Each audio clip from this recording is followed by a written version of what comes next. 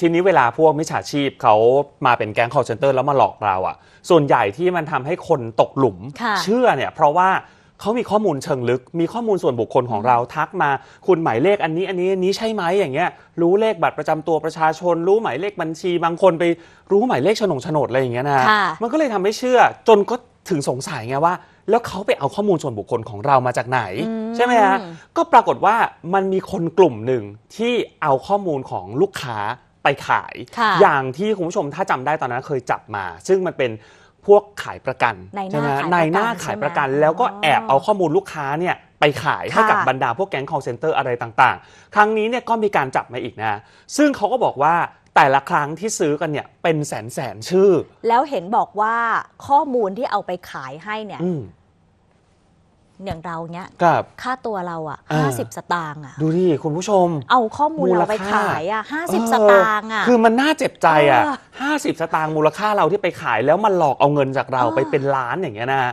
ล่าสุดที่โดนจับได้เนี่ยก็สารภาพครับว่ามีการเอาข้อมูลไปขายต่อจริง ๆ อย่างวันนี้เนี่ยทางด้านตำรวจไซเบอร์นะครับตำรวจกองบัญชาการสืบสวนสอบสวนอาชญากรรมทางเทคโนโลยี หรือว่าบกสสอทฮะเขาไปแจ้งข้อหาตามหมายจับแก่นายอนนบอายุ 39 ปี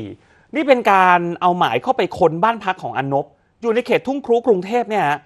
ซึ่งเป็นการขยายผลมาจากก่อนหน้านี้ที่เจ้าหน้าที่เขาไปตรวจพบมันมีกลุ่มบุคคล แสวงหาประโยชน์ด้วยการซื้อขายข้อมูลส่วนบุคคลของคนอื่น เป็นจำนวนมากในโซเชียลมีเดียที่มีการปิดเฉพาะกลุ่ม เขาเรียกว่า dark web คือเว็บมืดอะนะโดยขายให้กับพวกมิจฉาชีพนี่แหละ พวกแก๊ง call center พวกนี้พวกเว็บพนันออนไลน์ ทีนี้จากการขยายผลครั้งที่แล้วเนี่ยก็สืบมาจนเจอว่าอันนบเนี่ยนะ เป็นคนที่มีอาชีพเป็นในหน้าขายประกัน แต่ปรากฏว่ากลับไปมีส่วนร่วม เอาข้อมูลส่วนบุคคลเนี่ยไปซื้อขายกับกลุ่มผู้ต้องหาที่ตำรวจเขาจับไปก่อนหน้านี้ ก็เลยรวบรวมพยานหลักฐาน แล้วก็ขอสารออกหมายจับเมื่อ 5 มกราคมที่ผ่านมา ในความผิดตามพระราชบัญญัติคุ้มครองข้อมูลส่วนบุคคล หรือว่า PDPA นะฮะแล้วก็พรบคอมหลังจากนั้นก็เลย เอาหมายเนี่ยเข้ามาจับตัวแล้วก็ตรวจยึดในห้องเขาเนี่ยอุปกรณ์อิเล็กทรอนิกส์นะครับซึ่งมีการจับเก็บข้อมูลลูกค้าที่ซื้อขายมาโดยมิชอบเป็นจำนวนมาก ตัวอนนบนี่ก็รับสารภาพนะว่า ซื้อขายข้อมูลส่วนบุคคลมาจากนายวีรทัศน์วีรทัศน์คือใครก็คือคนที่เป็นข่าวก่อนหน้านี้ว่าไปจับมาได้นี่แหละ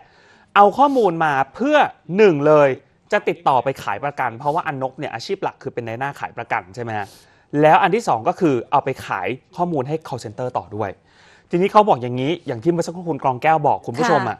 มูลค่าของลูกค้าที่เขาไปขายเนี่ยรายชื่อพวกเราเนี่ยเขาขายกันอยู่ที่ชื่อละ 50 ตังค์ถึง 75 ตังค์มูลค่ายังไม่ถึงบาทเลยคุณ โอ้โห นี่คือทำแบบเนี้ยแล้วแต่ละครั้งก็ขายกันเป็นหลักแสนเนี่ยฮะแล้วนอกจากนี้เนี่ยขายมาเสร็จก็จะมีการเอาไปขายต่อ ซื้อมา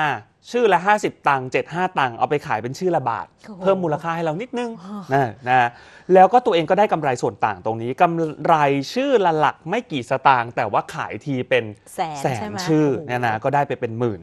ก็เดี๋ยวคุณผู้ชมลองไปดูช่วงที่เจ้าหน้าที่เขาสอบสวน สอบถามตัวอันนบเนี่ยครับ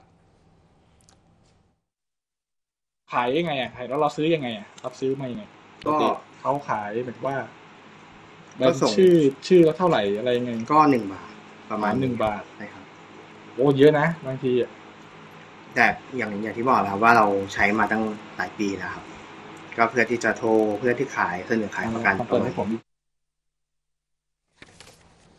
หลังจากนั้นนะครับเจ้าหน้าที่ก็คุมตัวผู้ต้องหาไปส่ง พนักงานสอบสวนกองกำกับการ 3 กองบังคับการสืบสวนสอบสวนอาชญากรรมทางเทคโนโลยี 5 เพื่อดำเนินคดี ทีนี้อย่างกรณีที่เจออนนบเนี่ยก็มาจากการขยายผล ของเคสวีรทัศน์ที่จับไปก่อนหน้านี้ อันนี้เดี๋ยวก็จะขยายผลต่อค่ะนะเพราะเชื่อว่าไม่ได้หมดแค่อนนบแน่นอน พวกนี้อย่างที่บอกว่าขายกันเป็นทอดๆนะแล้วก็มีการเก็งกำไรต่อด้วยตำรวจฝากเตือนเลยนะครับ ใครก็ตามที่